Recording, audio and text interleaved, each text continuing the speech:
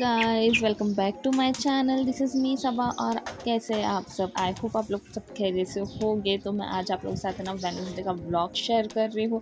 तो सबसे पहले मैं हूँ सबा और यहाँ ना मैं सुबह सुबह ना लग गई थी कामों में। एज़ यूजल हम जो घर के काम करते वही। बट कभी कभी ऐसा हो जाता ना कि हम कभी लेट उठते, कभी जल्दी उठते। खास करके तब जब आपके घर में एक छोटा सा बच्चा हो।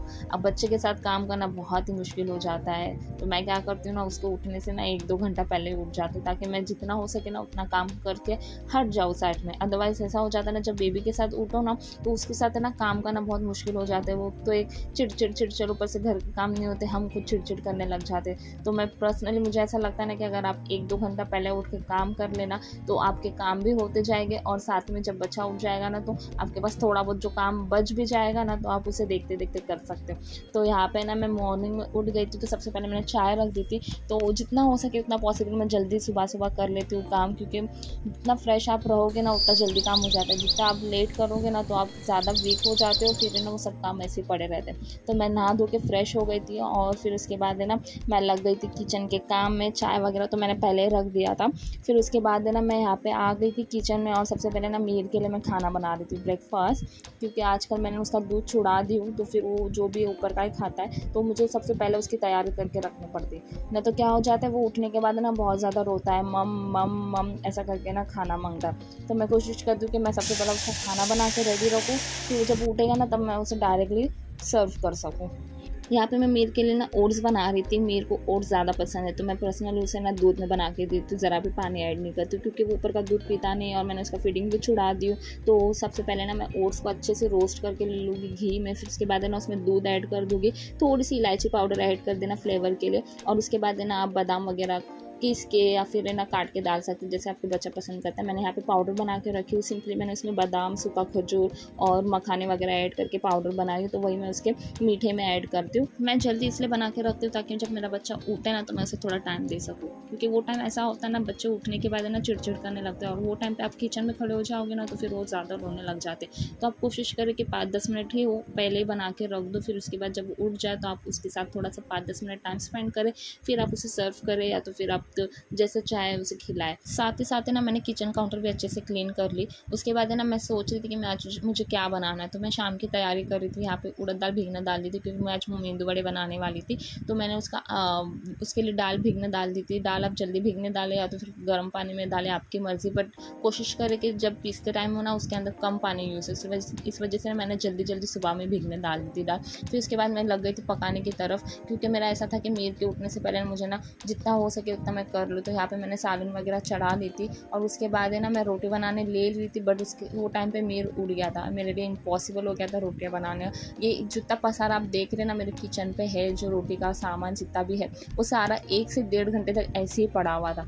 क्योंकि मीर उड़ गया था, उसके बाद मैंने उसे टाइम दे दी, दो घंटा कम से कम पकड़ लो, उसका बाथरूम करना या फिर उसको ब्रश करना, फिर उसके बाद उसको खिलाना, फिर उसको फ्रेश करना, सारी चीज़ें करने करने तक ना मुझे एक डेढ़ घंटा ऐसे चला गया था। और ये सारी चीज़ें ऐसी पड़ी हुई थी। और मीर उड़ गया था, उसके अब्बा ने आवाज़ दे दी तो मैं चली गई थी। ये दोनों अभी भी पूरी तरह से नींद में ही है। सालन वगैरह मैंने चढ़ा दी थी, एकदम तैयार हो गया था। बस मुझे रोटी बनानी थी। इसे देखो, इसे जब पॉटी आ जाती ना तो इधर उधर जाके बैठ जाता मैंने इसे एक अच्छी आदत लगाई हूँ कि जब भी पॉटी है ना तो आप बाहर जाके बैठ जाओ, या तो फिर बाहर मैं खुद ला के उसे बिठा देती हूँ। बट ये बिस्तर पर बिल्कुल भी पॉटी नहीं करता। हाँ वो घर में हवा कर लेता है, बोलता है मैं शी किया, बट बिस्तर पर जब भी आते ना, वो नीचे उतर जाता है और वहाँ पर बैठ के पॉटी करता है। तो यहाँ पर मैं उसे बाहर लेकर आ जाती हूँ, ताकि ये टाइम उसका ऐसा हो जाता ना कि उसकी नींद है ना अभी भी आँखों में होती तो मैं उसकी कोशिश करती हूँ कि मैं उसे फ्रेश कर सकूँ। यहाँ वहाँ की बातें करती हूँ, यहाँ वहाँ की चिमनी वगैरह दिखाती हूँ, कुछ ना कुछ दिखाती हूँ, ऐसी चीज़ें दिखाती हूँ, जिससे वो देख के हंसे और फ्रेश हो जाए कम्प्लीटली फिर उसके बाद है ना उसको दाँत वगैरह घस, घसने दे देती हूँ ब्रश दे देती हूँ उसके हाथ में ना, वो अच्छे से दाँत वगैरह घसते उसे बहुत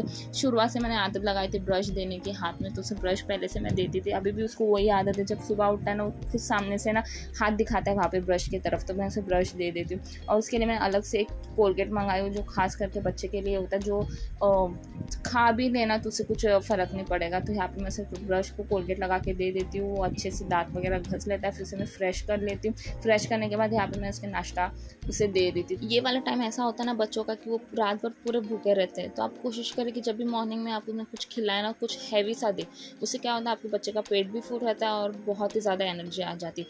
कोई कोई माएँ ऐसे हो जाती है ना कि उन्हें मॉर्निंग में दूध बिस्किट दे के बिठा खिला देते हैं, फिर उसके बाद वो हज़म हो या ना हो, फिर उसके बाद भूख लगती रहती है तो आप कोशिश करें कि कुछ हैवी सा दे, जैसे रोटी वगैरह दे दे, भाजी रोटी या फिर ओट्स वगैरह दे या उपीट वगैरह बना के दे। इस तरह से आप जब दोगे ना बच्चे को तो अच्छे से उनका दोपहर तक है ना टाइम चला जाता है और अच्छे से खेलते भी है फ्रेश फ्रेश रहते तो मेरे को देखो, ये खा पी के ना मुझे बाहर लेकर आ गया था, उसके साथ मैं थोड़ा टाइम स्पेंड कर रही थी, यहाँ पे उसके साथ खेल रही थी, क्योंकि ये टाइम उसके लिए ऐसा हो जाता है ना कि वो पूरी तरह से एनर्जी में रहता है। फिर उसके बाद ना उसके अब्बा उठ गए थे फ्रेश वगैरह हो गए थे तो यहाँ पर मैं ना उनके पास दे दी थी, वो उन्हें देखते देखते मैं यहाँ पे रोटी बना रही थी।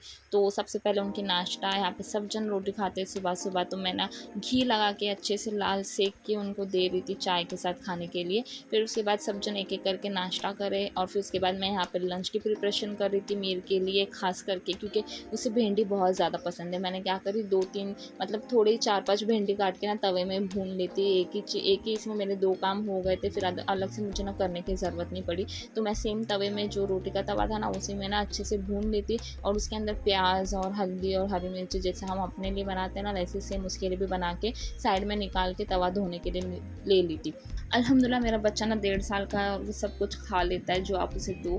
तो मैं क्या करती हूँ, जो हमारे लिए बनाती हूँ ना, वही सारी चीज़ें मैं उसे भी प्रीफर करती हूँ। हाँ उसे चावल एक पसंद नहीं है, पता नहीं क्यों उसकी जगह पर मैं उसे ना रोटी वगैरह है तो फिर दलिया वगैरह बना के दे देती हूँ ना तो वो खा लेता है। तो यहाँ पे मेरा सारा काम हो गया था मॉर्निंग का समथिंग अराउंड दस बज रहे थे और मैंने सारी चीज़ें कर ली थी। और उसके बाद सारा वक्त है ना मेरे को देना पड़ता है, क्योंकि उसकी नींद इतनी कम है ना, वो थी दो या तीन बजे सोएगा।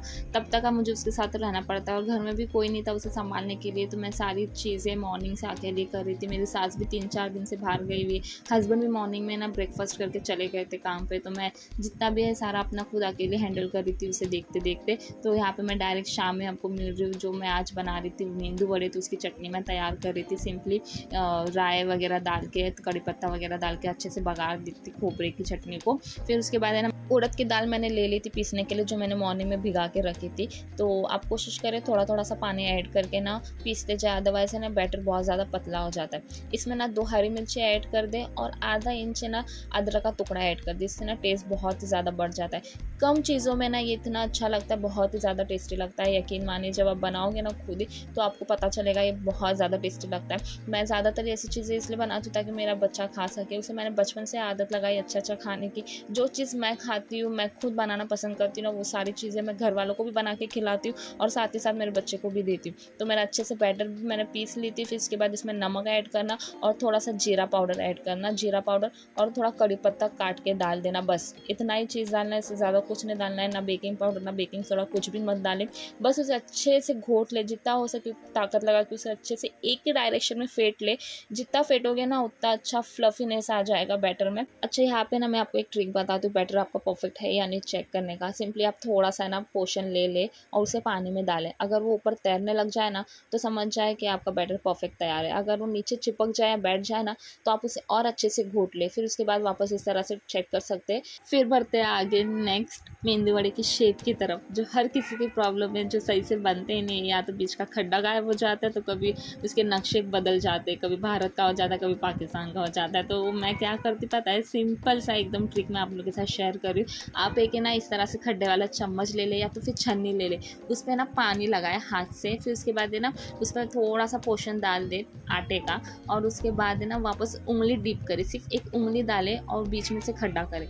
इस तरह से सारे आप मेंदू वड़े डालते जाओगे ना, एकदम परफेक्ट आपके मेंदू वड़े बनेंगे। सिंपल देखो मैं किस तरह से करी, थोड़ा सा पानी लेके उंगली के बीच में एक खड्डा करके उसे ऐड करते जा रही हूँ। इस तरह से मैंने सारे मेंदू वड़े एक ही शेप में बने, बीच में एक खड्डा भी आ गया हम लोगों को ये रोज़ बनाने की आदत नहीं, इस वजह से हमारे बनते नहीं। बट जो बाहर वो लोग बनाते हैं, उन लोग को हाथ से बनाने आता है। तो उन्हें छोड़ ही दो। जब आप घर में इस तरह से बनाओ तो ये वाला ट्रिक यू फॉलो करना बहुत ही कमाल का है। एक सारे मेंदू वड़े आपके एक ही शेप के बनेंगे और खाने में मज़ा आएगा और चार लोग आपके खानों का नाम भी नहीं रखेंगे। इनफैक्ट आपकी तारीफ़ ही करेंगे कितने अच्छे से बने।